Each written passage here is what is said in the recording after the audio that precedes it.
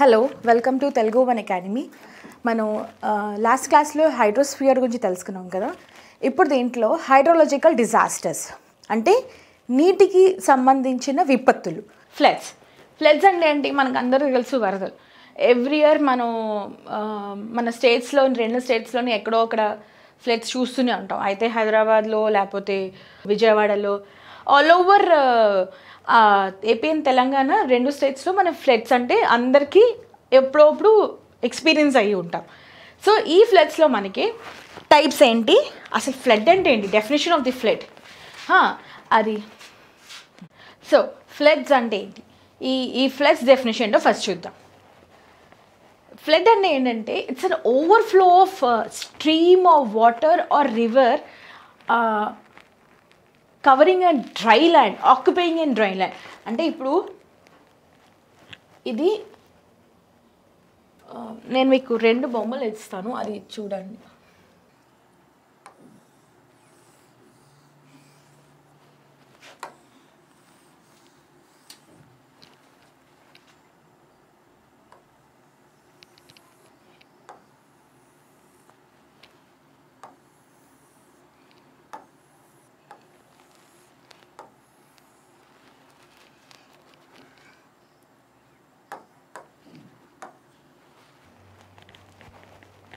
So ఇది నార్మల్గా river flow ఇది ఉంటే దాని దాని డైరెక్షన్ దాని ఫ్లో ఇది రైట్ ఇది రెగ్యులర్గా నార్మల్గా ఉండే రివర్ ఫ్లో అదే అంటే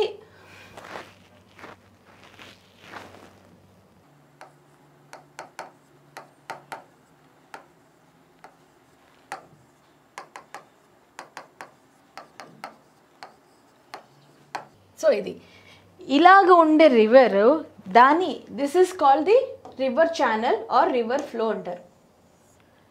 ఇలా ఉండే రివరు ఎక్కువ హెవీ రెయిన్స్ వల్ల కానీ లేకపోతే డ్యామ్స్ బ్రేకేజ్ వల్ల కానీ డ్యామ్స్ రిలీ డ్యామ్స్ని రిలీజ్ గేట్స్ రిలీజ్ చేయడం వల్ల కానీ రకరకాల కారణాల వల్ల ఇలా ఉండే దాని ఫ్లో అదేం చేస్తుంది? ఇలా నార్మల్ ఫ్లో కదా ఇలా కాకుండా ఈ డ్రై ల్యాండ్లో దాని ఫ్లోని ఎక్స్టెండ్ చేసేస్తుంది.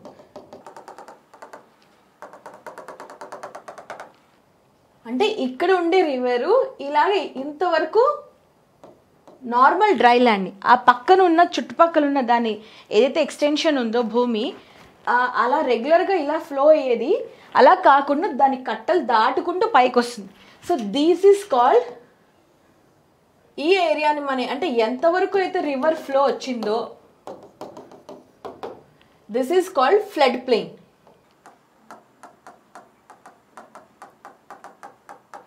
రెగ్యులర్గా ఇలా రెగ్యులర్గా ఇలా ఫ్లో అయ్యే రివరు ఎప్పుడైతే సడన్గా ఈ పక్కనున్న డ్రై ల్యాండ్స్లోకి వచ్చి దాని ఛానల్ని అది డైరెక్షన్ మార్చేసుకుని లేకపోతే అంటే పక్కకి వ్యాపించేసింది అనమాట వ్యాపించేసిందో దాన్ని ఫ్లడ్ అంటారు. అంటే ఇది ఫ్లడ్ ఎలా వస్తుందంటే బాగా వర్షాలు విపరీతమైన వర్షాలు. ఉన్న అంటే అనుకో సీజనల్లీ ఎవ్రీ ఇయర్ వచ్చే వర్షాల కంటే ఎక్కువ వచ్చినా లేకపోతే పైన గ్లేషియర్స్ మెల్ట్ అయిపోయినా అంటే ఇది మనం అన్ని రివర్స్కి తీసుకున్నాం. రివర్స్ స్ట్రీమ్స్ అన్నిటికీను. పైన గ్లేషియర్స్ గ్లేషియర్స్ అంటే హిమాలయన్ రివర్స్ కనుక్కుందాం. హిమాలయన్స్ గ్లేషియర్స్ కరిగిపోయిన తర్వాత ఈ పైన ఈ ఈ పైన ఎక్కడైనా ఉండే డ్యామ్స్ కానీ అంటే డ్యామ్స్ పగిలినా లేకపోతే గేట్స్ వదిలినా అంటే అక్కడ హెవీ రెయిన్స్ పడ్డాయి అనుకోండి అక్కడ డ్యామ్స్ని వదులుతారు. డ్యామ్స్ వదిలితే ఏంటవుతుంది? అక్కడ లేకపోతే డ్యామ్ వదిలిపోతే డ్యామ్ బర్స్ట్ అయిపోతుంది అనమాట బ్రేక్ అయిపోతుంది పగిలిపోతుంది విరిగిపోతుంది. సో దా అది ఆపడం కోసమని మా ఇక్కడ గేట్స్ వదిలితే ఇక్కడ నార్మల్గా రెగ్యులర్గా ఫ్లో అయ్యే కాకుండాను ఇదిగోండి దాని రివర్ ఛానల్ని ఇంతవరకు తీసుకుంటుంది. సో అంటే ఇదంతా ఏదైతే రెగ్యులర్గా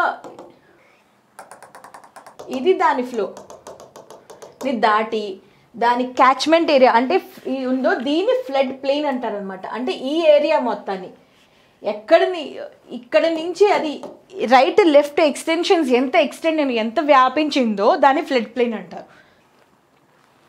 So and overflow of water on to normally dry land అది ఎప్పుడు నార్మల్గా డ్రైగానే ఉంటుంది. Normally dry ల్యాండ్లోని the inundation of a normally dry area caused by rising water ఇక్కడ ఏమైంది? Due to because of rising water rising వాటర్కి కారణాలు ఏంటి? ఎన్ నెంబర్ ఆఫ్ రీజన్స్ ఉంటాయి. అయితే హెవీ రైన్ఫాల్స్ లేకపోతే గ్లేష్ మెల్టింగ్ ఆఫ్ గ్లేషియర్స్ లేకపోతే ఓపెనింగ్ ఆఫ్ డ్యామ్ గేట్స్ లేకపోతే any any blockages out there so ఇప్పుడు టూ థౌజండ్ నైన్లో కృష్ణా నది విజయవాడ ఫుల్గా బాగా వరదలు వచ్చి ములిగింది అది ఎందుకు? దానికి మెయిన్ రీజన్ ఏంటంటే మనం వదిలిన డెబ్రీస్ అనమాట అంటే కృష్ణాలోని ఎక్కువ పైనుంచి భలే ఫ్లో ఉన్నా అంటే రెయిన్స్ అక్కడ మహాబలేశ్వర్లోని మహారాష్ట్రలో బాగా వర్షాలున్న కృష్ణలో వచ్చిన అది ఛానల్ ఫ్లూ ఫ్రీగా ఎందుకు వెళ్ళలేకపోయిందంటే బ్లాకేజెస్ ఎక్కువనే అనమాట అంటే మనం ఏం చేసాము? చెత్తని మనం బ్యాగేజ్లు గార్బేజ్లు చెత్త అంతా ఇక్కడ. ఇక్కడ అక్యూములేట్ చేసామనుకోండి ఇక్కడ వదిలేస్తే అలాగా చాలా ఏ ఏ ఊరు వాళ్ళ ఆ ఊరు రకరకాల చెత్తలు. సిల్టింగ్ సిల్టింగ్ ఎక్కువైపోతుంది. అంటే కిందన మామూలుగా రివర్స్లో ఏంటంటే రెగ్యులర్గా సిల్టింగ్ పెరుగుతూ ఉంటుంది అనమాట అంటే దాంట్లోని మట్టి శాతం పెరిగిపోతూ సైడ్ నుంచి అటు నుంచి రివర్స్ తెచ్చిన డెబ్రిస్తో వాటితో మట్టి పెరిగిపోతుంది. మట్టి పెరిగిపోతే ఏంటవుతుంది? వాటర్ రైజ్ అయిపోతుంది. వాటర్ రైజ్ అయితే ఇంకా దాని ఈ ఈ బ్యాంక్మెంట్ ఏరియా దాటేస్తే అటు ఇటు వాటర్ వచ్చేస్తుంది అనమాట పక్క డ్రై ఏరియాస్కి. సో ఇక్కడ ఏంటవుతుంది ఇలా రకరకాలుగా మనం ఎక్కడ పెడితే అక్కడ డెబ్రీస్ పెట్టడం వల్ల ఏమైందంటే ఆ రివర్కి ఫ్రీ ఫ్లో అనేది లేకపోయింది. ఆ ఫ్రీ ఫ్లో లేకపోవడం వల్ల అదేంటైంది? పక్కకి పక్క ఏరియాస్లోకి వచ్చేసింది. అలాగా ఊర్లు అంటే చుట్టుపక్కల ఏ ఊర్లు ఉన్నా అవి కొట్టుకుపోతాయి. ఆబ్వియస్గా అంటే లో లెవెల్లో వాళ్ళు చాలామంది మీరు చూస్తే నదుల పక్కన ఇల్లు కట్టుకుంటూ ఉంటారు. జోపడ పట్టీలు వేసుకుంటారు పాకలు వేసుకుంటారు. ఆబ్వియస్గా ఫస్ట్ ఎఫెక్ట్ అయ్యేది థ్రెట్లో ఉండేది లో లైన్ ఏరియాస్ అనమాట లో లయింగ్ ఏరియాస్ వీళ్ళ ఇల్లులే వీళ్ళే కొట్టుకుపోతారు. So such as rivers stream or drainage such drainage కూడా. మన డ్రైనేజ్లోని um, ఎక్కువ చెత్త పడేసిన బాగా వర్షాలు వస్తే ఏంటవుతుంది ఆ డ్రైనేజ్ మొత్తం. డ్రైనేజ్ అంటే మనం అర్బన్ సిటీస్లో ఉండే ఒక పెద్ద కెనల్స్లా అనమాట మన సివేజ్ లాగా. సో వాటిలో మనం టైం టు టైం క్లీన్ చేయకపోయినా ఏం చేయకపోయినా ఏంటవుతుంది ఉట్టప్పుడు బాగానే ఉంటుంది. సమ్మర్ సీజన్స్లో బాగానే ఉంటుంది. అదే రైనీ సీజన్స్ వచ్చేసరికల్లా బాగా హెవీ వాటర్ ఫ్లో వచ్చినప్పుడు దానికి జాగా వెళ్ళడానికి జాగా లేకపోతే బ్లాకేజ్లు అడ్డులు ఎక్కడ పడితే అక్కడ అడ్డు ఉంటే ఏంటవుతుంది వాటర్ విల్స్ కమ్ అవుట్ ఊర్లోకి వచ్చేస్తుంది. రోడ్ల మీదకి వచ్చేస్తుంది. సో ఎగ్జాక్ట్లీ ముంబైలో ఇదే జరుగుతుంది. ముంబైలో హైదరాబాద్లో చెన్నైలో. చెన్నైలో అప్పుడు అడయార్ దగ్గర ఒక లేక్ ఇలాగే మొత్తం కొట్టి nine feet ten feet water levels అందరూ జ కార్లు కూడా ఫ్లోట్ అయ్యేంత. ముంబై అయితే every year you can experience this. మన ముంబైలో ప్రతి మాన్సూన్లో జరిగేది బికాస్ ఆఫ్ డ్రైనేజ్ డిచ్లు. ఈ డ్రైనేజ్ డిచ్లు నిండిపోతూ ఉంటాయి. అక్కడ సివేజ్ సిస్టమ్ బాగాలేదు సో అది ఈ ఫ్లడ్స్లో వాటర్ వేస్ అండ్ ఎగ్జిస్టింగ్ ఉన్న డ్రై ఏరియాస్ని ఏదైతే వాటర్ నార్మల్లీ డ్రై ఏరియా మీద వాటర్ ఓవర్ఫ్లో అయిపోతుందో స్ప్రెడ్ అవుతుందో ఆక్రమిస్తుందో అది ఫ్లడ్ అనమాట దీంట్లో మనం టైప్స్ చూద్దాం. ఫ్లాష్ ఫ్లడ్స్ ఫ్లాష్ అంటే పేరులోనే ఉంది ఫ్లాష్ ఫ్లాష్ అంటే చక్ ఇలా వచ్చి వెళ్ళిపోవడం అనమాట ఇలాంటి ఫ్లడ్స్ ఎలా అంటే చాలా డివాస్టేటింగ్ మిగతా ఫ్లెట్స్ అంటే మనకు కొంచెం ఐడియా ఉంటుంది. అక్కడి నుంచి ఇవాక్యువేట్ చేయడానికి వాటికి చిన్న టైం దొరుకుతుంది. బస్ ఫ్లాష్ ఫ్లెట్స్ ఎలా అంటే టూ టూ నుంచి సిక్స్ అవర్స్లో వచ్చేస్తాయి. వచ్చేసి మొత్తం కొట్టుకు ముంచుకెళ్ళిపోతాయి. So flash floods are very dangerous పేర్లో ఉంది ఫ్లాష్ ఫ్లెట్స్ ఇవేంటంటే floods occurring within six hours mainly due to heavy rainfall ఎక్కడైనా పైన బాగా హెవీ రెయిన్ఫాల్ కొండల మీద ఉందంటే దానికి సంబంధించిన నదుల దగ్గరకో దగ్గర ఫ్లాష్ ఫ్లడ్స్ వస్తాయి. కొన్నిట్లోని దొంగ ఏర్లని కూడా అంటారు. కొన్ని ఊర్లో మీరు చూస్తే ఏదైనా ఏరు పారుతుంటే దొంగ ఏరు అంటారు. అంటే అది ఎప్పుడు వస్తుందో ఎక్కువ యాక్చువల్లీ శ్రీకాకుళంలో వంశధార నది. వంశధార నాగావళి ఇవి వంశధారలోని అది దొంగేర్లు అంటే ఎక్కడెక్కడో వర్షం పడితే ఇది సడన్గా వచ్చి మొత్తం చుట్టుపక్కల ఊర్లన్నీ ముంచుకెళ్ళిపోతుంటుంది. అది ఎప్పుడొస్తుందో అంటే కనీసం జనాలకి అమ్మో ఇది నది లెవెల్ పెరుగుతోంది కొంచెం మనం ఇక్కడ నుంచి దూరం వెళ్ళిపోదాం అనే టైం కూడా ఇవ్వదన్నమాట. సడన్గా వస్తుంది సడన్గా కొట్టి మొత్తం ముంచుకెళ్ళిపోతుంది. So Vamsadhara is one of such kind అనమాట మన ది సౌత్లో తీసుకుంటే. So floods occurring within six hours two నుంచి సిక్స్ అవర్స్లో వస్తాయి మొత్తం డివాస్ చేసి వెళ్ళిపోతాయి. సో ఇవి ఏంటంటే heavy rainfall with towering cumulus clouds rainfall bearing clouds క్లౌడ్స్ని అది మనం అట్మాస్ఫియర్లో చూద్దాము. కానీ ఇప్పుడు ఒకసారి చెప్తాను మీకు. Rainfall bearing క్లౌడ్స్ని cumulonimbus clouds or cumulus clouds అంటారు. అంటే అన్ని మేఘాలు వర్షాలు పడవు. అన్ని మేఘాలు మనకి వర్ష వర్ష వర్షపాతం వచ్చే మేఘాలు కావు. ఓన్లీ కొన్ని మేఘాలు మాత్రమే వర్ మేఘాల్లో కూడా టైప్స్ ఉన్నాయి మనకి. కొన్ని మాత్రమే మనకి వర్షాన్ని ఇస్తాయి అన్నమాట సో ఇలాంటి cumulonimbus cumulus clouds or cumulonimbus clouds అంటారు. ఇవి ఎక్ వీటి వల్ల ఎక్కువ వర్షపాతం వస్తుంది. అంటే ఒక పెద్ద క్లౌడ్ ఉంటుంది. ఆల్ ఆఫ్ సడన్ సడన్గా అది కంటిన్యూస్గా two three hours it starts raining అనమాట so downpour heavy downpour అంటే మనం అంటాం కూడా it's raining cats and dogs అని. క్యాట్స్ అండ్ డాగ్స్ అంటే అంటే కొంచెం కూడా గ్యాప్ లేకుండా అలాగ కంటిన్యూస్గా వర్షం. అలాంటి టైమ్స్లోని ఈ మనకి కొన్ని ఆ రివర్స్లో అసోసియేటెడ్ రివర్స్ దగ్గర ఫ్లాష్ ఫ్లడ్స్ వస్తాయి. సో అలాగ తర్వాత thunderstorms tropical cyclones next thunderstorms అంటే ఉరుములు మెరుపులు పిడుగులు ఇలాగా. తర్వాత ట్రాపికల్ సైక్లోన్స్ ట్రాపికల్ సైక్లోన్స్ అంటే మనకి సైక్లోన్ సముద్రంలో ఏర్పడే ఒక ఫెనామినా ట్రాపికల్ సైక్లోన్. సముద్రంలోని లో ప్రెషర్ హై ప్రెషర్ నుంచి లో ప్రెషర్ వరకు ఎప్పుడైతే మా ఇదవుతుందో వేవ్స్ వాతావరణం మారుతుందో అప్పుడు మనకి సైక్లోన్స్ ఏర్పడతాయి. ఇవి ఏం చేస్తాయి? సముద్రం మించి అలాగా పెద్ద సమ్ సైక్లోన్స్ అంతా మొత్తం మాయిశ్చర్ని క్యారీ చేస్తాయి. మాయిశ్చర్ని క్యారీ చేసి అలాగ ల్యాండ్ మీదకి వస్తాయి. ల్యాండ్ మీదకి వచ్చినప్పుడు ఇంకా మాయిశ్చర్ ఎక్కువ ఉండదు కాబట్టి మొత్తం వదిలేస్తాయి. అప్పుడు మనకు వచ్చే సైక్లోన్స్.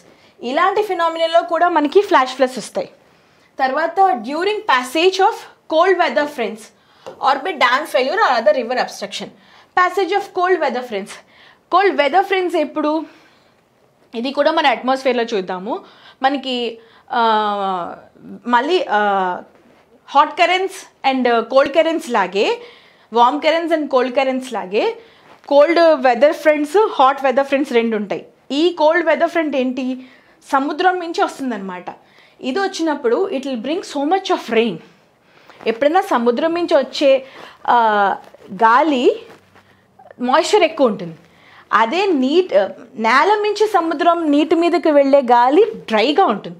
ఎందుకంటే అది వేడిగా ఉంటుంది డ్రైగా ఉంటుంది. దానికి మొత్తం ఇంకా నీటి మీద అదే నీటి మీద ఉన్నప్పుడు ఇట్ విల్ క్యాచ్ మాయిశ్చర్ ఈ వెదర్ ఫ్రెండ్స్ ఏంటి? It will catch moisture and హెవీగా ఉంటాయి అవి కోల్డ్గా ఉంటాయి. అవి ల్యాండ్లోకి వచ్చేసరికల్లా ఆ వేడికి దే రిలీజ్ దర్ వెదర్ అంటే హీట్ అన్నమాట. హీట్ కోల్డ్నెస్ రిలీజ్ చేసేసి అక్కడ వర్షాలు వదిలేస్తాయి. సో ఈ కోల్డ్ వెదర్ ఫ్రెండ్స్ అప్పుడు or dam failures any dam failures మనం టూ థౌజండ్ ఎయిటీన్లో అనుకుంటాను కేరళలో.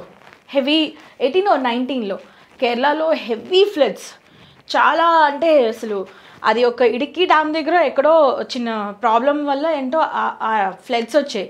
అది చాలా భయంకరమైన ఫ్లడ్స్ అవి కూడా చాలా మంది చనిపోయారు. So any dam failures or any other river destructions anything రివర్లో cloudburst అవ్వచ్చు. Uh, ఎగ్జాంపుల్కి Kedarnath uh, cloudburst Kedarnath ఎలా ఉంటుందంటే సి um, అక్కడి నుంచి అలక్నంద భగీరథ్ మందాకిని. సో ఇది మన హిమాలయాస్ అనుకుంటే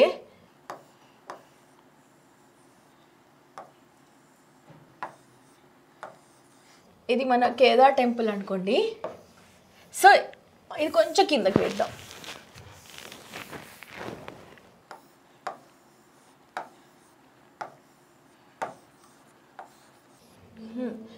సో ఈ వెనకాతల అంతా కూడా హిమాలయాస్ అన్నమాట.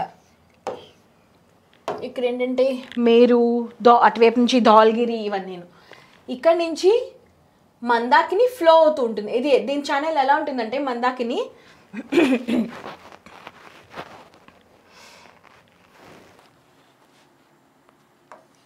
సో ఈ మందాకిని ఇలా ఫ్లో అవుతూ ఉంటుంది. దీన్ని దీన్ని ఇటువైపు నుంచి కేదార్నాథ్ కోవిల్ పక్కనే. సో ఇలాంటిది ఏమైందంటే ఇక్కడ ఇక్కడ క్లౌడ్ బర్స్ట్ అయింది. క్లౌడ్ బర్స్ట్ అంటే ఇట్స్ బిగ్ హెవీ స్ట్రామ్ అంటే చాలా పెద్ద భయంకరమైన పెద్ద వర్షం అనుకోండి. ఇక్కడ క్లౌడ్ బస్ట్ అక్కడ ఏంటంటే చాలా నేరో మీరు చాలామంది చూసే ఉంటారు చాలా నేరో ప్యాసేజ్ అనమాట ఇది. ఇక్కడ అసలు మనకి పెద్దగా ఇదే ఉండదు స్పేసే ఉండదు. సో ఇక్కడ క్లౌడ్ బస్ట్ అవడంతో మొత్తం అంటే ఈ చిన్న స్ట్రీమ్లోని దానికి టెన్ టైమ్స్ వాటర్ వేసిస్తే ఎలా ఉంటుంది? మొత్తం కొట్టుకుంటూ మొత్తం ఇదంతా కేదార్ అంతా మొత్తం ఇదంతా ఫ్లడ్ అయిపోయింది. అంటే ఇక్కడ నుంచి స్టార్ట్ అయ్యి దాని ఛానల్ మొత్తం వచ్చి సో ఈ ఏరియాలో ఉన్న వాళ్ళందరూ మనుషులందరూ మొత్తం కొట్టివైపారు ఇలాంటివి కూడా క్లౌడ్ బర్స్ కూడా అంటే ఎనీ అదర్ రివర్ డిస్టర్బెన్సెస్ నార్మల్గా అయితే దాని ఛానల్ ఇది. అది ఇలా వెళ్ళాలి. కానీ ఇక్కడ క్లౌడ్ బర్స్ట్ అవడం వల్ల క్లౌడ్ బర్స్ట్ అంటే హెవీ రెయిన్ఫాల్ అంటే టెన్ టైమ్స్ ఒక నదికి కా ఒక ten times or fifty times rainfall ఉంటే దాన్ని ఎంత ఎంత భరించగలదు? ఏం చేస్తుంది? పక్కని అన్ని చోట్ల అది ఎక్స్పాండ్ అయిపోతుంది. సో ఇలా అవడం వల్ల మొత్తం మందాకిని అంతా ఎక్కడ పడితే అక్కడ ఫ్లో అయిపోయి అప్పుడు మీకు తెలుసు చాలామంది మన తెలుగు వాళ్ళు అక్కడ ఇరుక్కుపోయారు. చాలా రకరకాల ఇష్యూస్ ప్రాబ్లమ్స్ అయ్యాయి. సో ఎనీ రివర్ డిస్టర్బెన్సెస్ అనమాట ఫ్లాష్ ఫ్లడ్స్ ఇది it's one it's one kind of flash flood అంటే హాఫ్ అన్ అవర్ ముందు వరకు బాగా ఉన్న వాళ్ళు సడన్గా తెలియకుండా వాళ్ళు ఏమైనా కూడా తెలియకుండా అయిపోయారు. హాఫ్ అన్ అవర్ ముందు వరకు నార్మల్గా ఉండే అది big flash flood example biggest అంటే రీసెంట్ ఎగ్జాంపుల్ ఏంటంటే మనకి కేదార్నాథ్. సో అది. నెక్స్ట్ ఏంటి? Coastal floods river floods river floods అందరికీ తెలుసు. ప్రతి ఇయర్ మనకి కృష్ణానదో లేకపోతే గోదావరి అంటే ఎక్కడో స్ట్రీమ్స్ స్టార్టింగ్ నుంచి ఆరిజిన్ నుంచి కాన్ఫ్లుయెన్స్ వరకు ఎక్కడో ఒకటి అవుతూనే ఉంటాయి.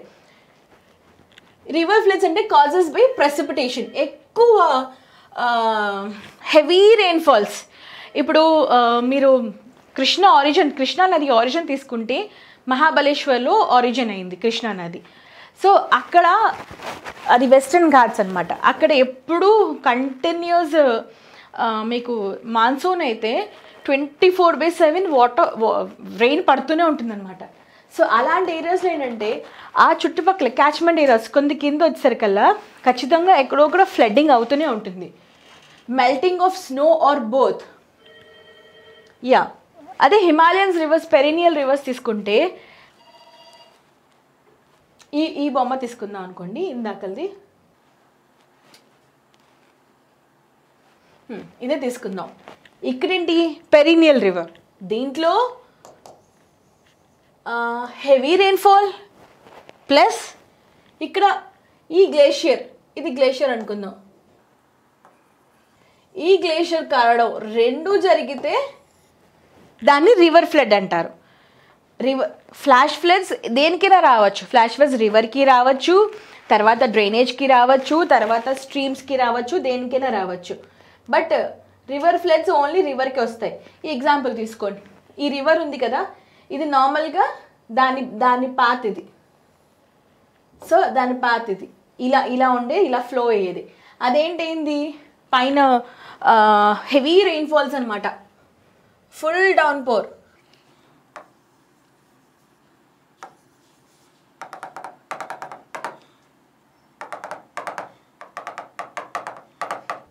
హెవీ రెయిన్ఫాల్స్ ఇక్కడ. అలా కాకుండా దాంతోపాటు దాంతో పాటు పైన ఎక్కడైనా గ్లేషియర్ కూడా బాగా మెల్ట్ అయ్యింది అనుకోండి గ్లేషియర్ బాగా మెల్ట్ అయ్యి ఇది గ్లేషియర్ అనుకుందాం. ఇది బాగా మెల్ట్ అయితే ఏంటవుతుంది? It also add to this river so ఇలాంటి వచ్చినప్పుడు ఏంటంటే ఈ ఈ రివర్ ఏం చేస్తుంది? దాని రెగ్యులర్ ఛానల్ ఇది. ఇది దాని రెగ్యులర్ ఛానల్ ఈ రెగ్యులర్ ఛానల్ దాటి ఈ ఫ్లడ్ ప్లెయిన్ వరకు ఆక్రమించేస్తుంది అనమాట అంటే కైండ్ ఆఫ్ కబ్జా అనుకోండి. ఒక రివరు దాని చుట్టూ పక్కనున్న డ్రై ఏరియాస్ని రోజు వెళ్ళే దా వెళ్ళే రూట్లో కాకుండా అటు ఇటు కూడా దానికి కొంచెం కబ్జా చేయాలనిపిస్తే అప్పుడు మనకు వచ్చేది ఫ్లడ్స్ వాటిని రివర్ ఫ్లడ్స్ అంటారు. River floods are associated with heavy rainfall plus melting of glaciers either heavy rainfall or melting of glaciers or both Both plus either this, either this or both melting of rain uh, glaciers and both rainfalls. So ఇవి river floods so ఈ ఇవి flash floods అయితే uh, hardly ఎంత ఉంటాయి మనకి uh, ఒక two నుంచి six అవర్స్లో వస్తాయి మొత్తం తీసుకెళ్ళిపోతాయి మట్టి నార్మల్ అయిపోతాయి కాకపోతే ఈ రివర్ ఫ్లడ్స్ ఇవి ఇవి ఎలా ఉంటాయంటే డేస్ నుంచి వీక్స్ వరకు ఉంటాయి అన్నమాట అంటే కొన్ని కొన్ని డేస్లో అయిపోవచ్చు త్రీ ఫోర్ డేస్లో అయిపోవచ్చు. అంటే డిపెండ్స్ అపాన్ ది రెయిన్ఫాల్ అనమాట అక్కడ రెయిన్ఫాల్ కానీ మెల్టింగ్ కానీ అయితే రెయిన్ఫాల్ తగ్గితే ఇవి వీక్స్లో అయిపోతాయి. రెయిన్ఫాల్ తొందరగా తగ్గిపోతే అవి ఆగిపోతాయి. లేదంటే దిల్ కంటిన్యూ ఫర్ వీక్స్ అనమాట the major factors of these floods are moisture moisture vegetation cover depth of snow size of the catchments basins etcetera so ఇది ఇది ఫ్లడ్ ప్లేన్ కదా? దీన్ని క్యాచ్మెంట్ బేసిన్ అంటారు. This is call catchment basin so ఇది ఈ river ఫ్లడ్స్కి అంటే తొందరగా దేని మీద డిపెండ్ అయ్యే దాని కారణాలు ఏంటంటే రివర్ ఫ్లడ్స్కి అంటే అంటే రోజులు ఉంటాయా వారాలు ఉంటాయని ఎలా చెప్తామంటే డిపెండ్స్ ఆన్ ది రెయిన్ఫాల్ ఇప్పుడు రెయిన్ఫాల్ తక్కువ ఉండి ఒక ఒక రోజులు రెండు రోజుల్లో ఆగిపోతే ఆ ఫ్లడ్ కూడా ఒక రోజు రెండు రోజులతో ఆగిపోతుంది. రెయిన్ఫాల్తో పాటు అక్కడ ఉండే వెజిటేషన్ అదే బాగా ఎవర్ గ్రీన్ ఫారెస్ట్లో డెసిడ్యూస్ ఫారెస్ట్లు అనుకోండి కంటిన్యూస్గా రెయిన్ఫాల్ ఉంటుంది.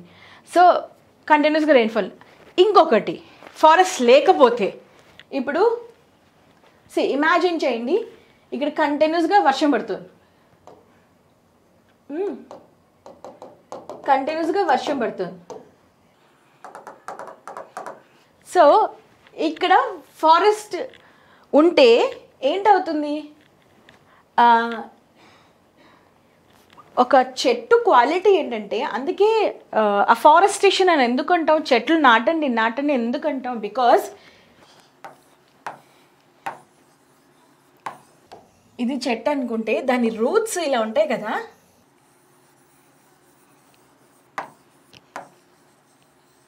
These are the roots of a plant right ఇవి ఇవి ఏం చేస్తాయంటే వీటికి సాయిల్ని పట్టుకునే క్వాలిటీ ఉంటుందన్నమాట. రూట్స్ దేంట్లో ఉంటాయి? మట్టిలో ఉంటాయి కదా. అవి ఏం చేస్తాయంటే మట్టి మట్టిలో ఫుల్గా నాటుకుపోతాయి కదా ఇదంతా మట్టి ఓకే? ఈ రూట్స్ దాని వాటి టిప్స్ ఇలా మొత్తం మట్టిలో నాటుకుపోయి మట్టిని పట్టుకుంటూ ఉంటాయి. అందుకే మీరు ఏదైనా మొక్కని చిన్న మొక్కైనా ఒక ఇంత చిన్న ప్లాంట్ అయినా ఒక్కసారి బాగా మట్టిలో ఉన్నదాన్ని పీకి చూడండి. కొన్ని చాలా గట్టిగా పట్టుకుంటే పాపం రూట్స్ రావు బయట కట్ పైన స్టెమ్ కట్ అయిపోతుంది. అలా కాకుండా కొంచెం గట్టిగా కొంచెం నీట్గా నెమ్మదిగా తీస్తే దాని రూట్స్తో పాటు బోల్డ్ మట్టి వస్తుంది మీకు. మొత్తం ప్రతి రూట్కి ఇలాగ బౌల్డర్స్ బౌల్డర్స్ మట్టి మట్టి ముద్దలు గడ్డలు గడ్డలతో మట్టి వస్తుంది. సో ఈ మట్టి ఉండడం వల్ల ఏంటవుతుందంటే వాటర్ని మట్టి సోక్ చేసుకుంటుంది. ఇప్పుడు ఇక్కడ ఫ్లడ్డింగ్ అయింది. ఇమాజిన్ చేయండి ఇక్కడ మొత్తం ఇక్కడ అంతా మొత్తం ఫ్లడ్ అవుతుంది. వరదలు వచ్చేసాయి ఇక్కడ. ఈ వరదలు వచ్చినప్పుడు ఏంటవుతుందంటే చెట్టుతో పాటు చెట్టు వేర్లకి ఉన్న మట్టి మట్టి మట్టి ఆ నీళ్ళని సోక్ చేసుకుంటుంది. అంటే ఇదే చెట్టు లేదనుకోండి ఇక్కడ ఏమీ లేదు. డ్రై ఏరియా ఉంది. ఇక్కడైతే మొత్తం ఈ మొత్తం కొట్టుకెళ్ళిపోతుంది అనమాట మొత్తం ఆ నేలని ఆ ఇసుకని సాయిల్ ఇరోజన్ భయంకరమైన సాయిల్ ఇరోజన్ అవుతుంది ఇక్కడ. ఇది మొత్తం కొట్టుకెళ్ళిపోతుంది. అదే చెట్టు ఉంటే ఈ ఈ ఈ వాటర్ ఫ్లోని తగ్గించేస్తుంది. ఆపేసి ఈ దానికి ఉన్న మట్టిలోనే అది ఆ, నీళ్ళని సోక్ చేసేసుకుంటుంది. ఈ నీ ఈ మట్టి ఏం చేస్తుంది? నీళ్ళని పీల్చేసుకుంటాయి.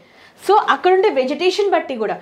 అక్కడే ఇదే కానీ ఇదే ఈ ఏరియాలో ఇది ఇది డ్రై ఏరియా అనుకోండి. ఇది డ్రై ఏరియా. అంటే ఇక్కడ ఏమి మట్టి గట్ర మొక్కలు గట్రా చెట్లు గట్రా ఏం లేవు. ఇలాంటి ఏరియాలోని డివాస్టేషన్ ఎక్కువ ఉంటుంది. అంటే ఒక నది వచ్చిందంటే మొత్తం ఎరోజన్ ఎరోడ్ చేసుకుంటూ వెళ్ళిపోతుంది. అదే ఇలాగా కొంచెం బుషి గ్రీనీ ఏరియా ఎక్కడైతే కొంచెం ఫారెస్ట్ ఏరియా చెట్లు గట్రా ఉంటే ఏదైతే ఫ్లో వస్తుందో స్లో అవుతుంది. ఫస్ట్ చెట్టుకి స్లో అవుతుంది దాని తర్వాత ఆ చెట్టుకి వేర్లు ఏదైతే మట్టిని పట్టుకుని ఉంటాయో దే నాట్ ఎలౌ సీపేజ్ అంటే not allow to take away the soil so అందుకోసం afforestation afforestation is very important ఎక్కడైతే మన చెట్లు ఎప్పుడైతే డిఫారెస్టేషన్ స్టార్ట్ చేసామో మొత్తం వరదలు ఎక్కువ అవుతాయి ఆ ఆ ప్లేస్లో మీరు అబ్జర్వ్ చేయండి. నార్మల్ కంటే ఆ ప్లేస్లో ఎక్కువ డివాస్టేషన్ ఉంటుంది. ఎక్కువ క్యాచ్మెంట్ ఏరియా క్యాచ్మెంట్ ఏరియా అంటే సో ఇది రివర్ ఫ్లో కదా. ఇది దాని రెగ్యులర్ ఫ్లో కదా. ఈ రివర్ ఏం చేసింది? ఇక్కడిగో ఇక్కడి నుంచి ఎక్స్టెండ్ అయింది కదా. ఇది ఇది ఎక్స్టెండ్ అయింది కదా. ఇక్కడ నుంచి ఏదైతే ఇక్కడ వరకు వచ్చిందో దీన్ని క్యాచ్మెంట్ ఏరియా అంటారు. అదే ఇక్కడ మొక్కలు ఉంటే ఇది దాని ఇది ఇక్కడతో ఆపేస్తుంది అది. అంత ఇంకా ముందుకు వరకు వెళ్ళకపోవచ్చు. చెట్లుంటాయి మొక్కలు కాదు చెట్లుంటాయి వాటెవర్ సో ఇది మన రివర్ ఫ్లడ్స్ అనమాట vegetation cover depth of the snow depth of the snow అంటే గ్లేషియర్స్ ఉన్నాయి. మనకి రకరకాల గ్లేషియర్స్ ఉన్నాయి కదా. గ్లేషియర్స్లోని పెద్దవి చిన్నవి ఆ, మళ్ళీ దాంట్లో చాలా టైప్స్ ఉన్నాయి. అదే ఈ గ్లేషియర్ కొంచెం ఈ మాత్రం పెద్ద షీట్ అనుకోండి. ఇది కరగడానికి టైం పడుతుంది. ఎక్కువ అంటే చాలా ఎక్కువ టైం తీసుకుంటే కరుగుతుంది.